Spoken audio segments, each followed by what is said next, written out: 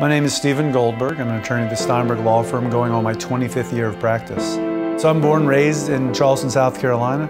My dad practiced law for 50 years and for 45 years he was a member of the Steinberg Law Firm. He always said, you gotta be happy with your clients and your clients have gotta be happy with you or else it doesn't work. In today's age, being a place that's convenient for the clients is important. So we have an office downtown, we have an office in Summerville, and we have an office in Goose Creek. We don't charge anyone for even accepting their case unless we make a recovery on it. If we can help them, we will, and if we can't, we'll advise them on what we think the best course of action is. Again, all free of charge. The Steinberg Law Firm is entering its 90th year. We've been around this Charleston community forever.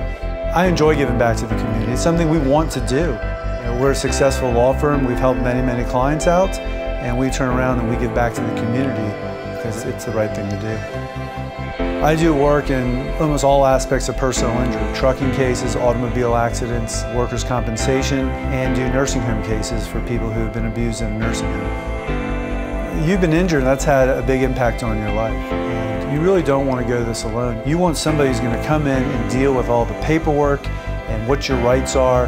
Your job should just be to get better.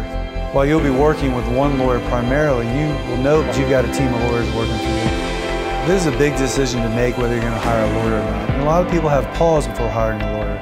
But remember that the person who may have caused you injury or the job that you got injured at, they have a team of lawyers working for them. It doesn't make sense for you to go against them without having your own team of professionals who can guide you through the system.